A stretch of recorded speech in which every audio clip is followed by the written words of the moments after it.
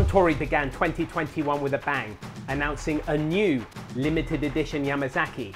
But does it deserve the hype? Welcome to Kanpai Planet, bringing you the world of Japanese drinks direct from the heart of Tokyo. I'm Mac, coming to you from the world renowned Aloha Whiskey Bar, and today we're reviewing Suntory Single Malt Whiskey Yamazaki Limited Edition 2021. Back at the start of January, Suntory announced this limited edition Yamazaki alongside a new Hibiki Blossom Harmony limited edition release, and they both went on sale on the 25th of May. Suntory began the limited edition Yamazaki series in 2014 and released a bottle every year until 2017. This release marks Suntory's return to limited edition branding for the first time since 2017. And this release is not a bar only release like Yamazaki 2020. Suntory have not disclosed a lot for this release. I've heard numbers around 30,000 bottles. For context, the Yamazaki 2017 limited edition had a release of 12,000 bottles.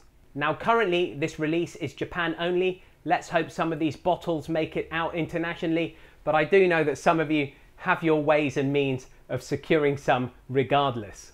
Let's check out the bottle design. Very different from previous limited edition releases. As always, we've got the kanji for Yamazaki, uh, but the label here has this wood grain styling, evoking Mizunara oak. That wood grain motif continues on the box, which has a picture of the Yamazaki distillery at the bottom, which is down in Osaka and was founded in 1923.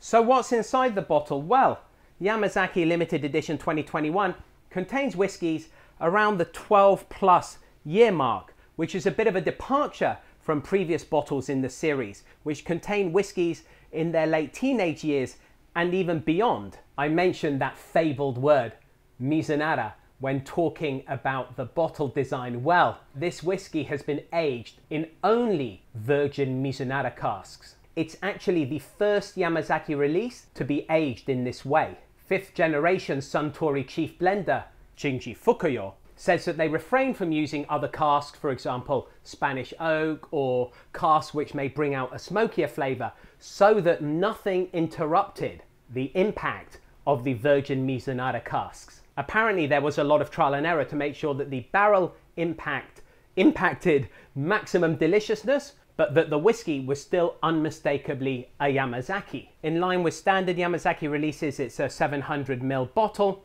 and it's been bottled at 43% ABV. It's priced at 8,000 yen, which is about 70 US dollars, 60 euros, or 50 British pounds. That compares to, if you can find them at these prices, the standard Yamazaki no age statement, which is 4,000 yen, and Yamazaki 12, which is 9,000 yen a bottle. And for those of you who have a taste now for limited edition Yamazakis, good luck finding the 2017 bottle for anything less than $1,000. So hopefully the contents of the bottle will live up to the wide acclaim of the series. But first, please help us grow this platform by liking, commenting, sharing these videos and subscribing for more from Kanpai Planet. It means a lot to me and best of all, it's free unlike Yamazaki 2021. On with the taste test. Let's check out the colour. Classic amber, I would say. Looks lovely. Let's check it out on the nose. Oh yeah. Okay, so I'm getting some uh, orange, some pineapple, maybe a little bit of citrus as well. There's some woodiness in here as well. You can definitely tell that Mizunara cask has been used. It's got that unmistakable spiciness that Mizunara imparts. So yes, some nice spice, a bit of nutmeg, a little bit of coconut there as well. Kampai, let's go on the palate. Oh, that is nice. Getting a bit of caramel and a bit of honey at first, a bit of cream too, so a really mellow sweetness, and then bang, that Mizunara spice hits you. Ooh, it's got a very thick mouthfeel. Not oily, but definitely coats your mouth. It without a doubt tastes younger than previous limited edition releases. You've got this fascinating balance of sweet and spice that I'm really enjoying. So it imparts this kind of almost like a incense uh, flavor to the drink.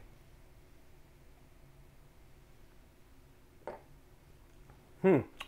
On the finish, you've got some vanilla, a lot of wood, and that spice hitting you again. Um, definitely getting some ginger. I would say medium long, even long. Now, long-term Kanpai Planet fans know that on the whole, I try not to review things in isolation. So, how does it compare with the Yamazaki limited edition 2017? Let's find out. So first up, there's a big color difference between the two. The Yamazaki 2017 has this much darker color to it with a beautiful iridescence of the light shining through it. On the nose, this is much sweeter. You're looking at things like passion fruit, a lot of honey, uh, caramel, cooked fruits. Yeah, beautiful, baked, almost uh, apple pie. Lovely. Let's go on the palate. Ooh, that is very, very nice. A lot of the characteristics I described on the nose are there, but you've also got this nuttiness and oakiness that joins them on the palate. This is a really fantastic dram. The finish is long, it's warm, it's sweet, and a lot more of these woody notes really starting to come out. So the journey with this dram is fascinating. Starts off very sweet and fruity, finishes very woody, and that journey takes you through a lot of nutty notes on the palate. Head to head? Well, that's a tough one. In the pro column for 2021, you've got the fact that, without a doubt, the dominant flavour is this fabled, sought after, delicious, virgin Mizunara cask that's been allowed to so heavily influence the flavour of this whiskey. Still very balanced though. 2017 is clearly much longer aged whiskey with a variety of cask types that have been allowed to exert their influence. It's very, very tough to compare.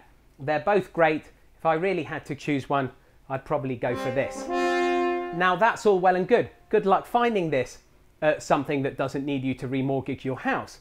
So perhaps a more useful comparison might be the standard Yamazaki 12. The Yamazaki 12 expression comes from whiskies aged in three types of wood Spanish oak, American oak, and Mizunara, Japanese oak. All three of these are 43% ABV. So let's check out the colour. The Yama 12 is much darker. It's almost this reflective copper colour. Let's go on the nose.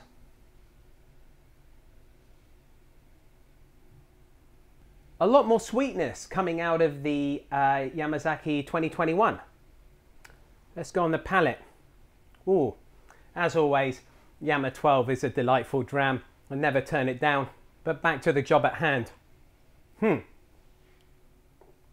On the palate though, the big difference is that Mizunara spice, much more dominant versus on the nose. The uh, Yama 2021 is a lot smokier, a lot woodier, and uh, a lot spicier as well. Whereas the spiciness in the Yama 12 is a lot more subtle. The Yama 12 is a lot more complex dram, clearly the influence of the different barrels used in aging coming to the fore there. On the finish, very interesting, the situation's reversed. Remember I said that on the nose, I thought the uh, Yama 2021 was a little bit sweeter.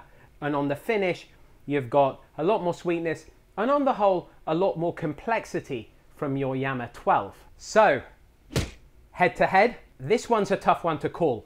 We all know that Yamazaki 12 is a fantastically balanced flagship whiskey. And what I felt when going head to head with the Yama 2021 was akin to if you get access to a blending set, that I was tasting a component of this in this whether you prefer one or the other is going to depend on whether you want the direct influence of the flavour of the virgin Mizunara casks versus the balance and complexity and thought that's gone into the Yamazaki 12.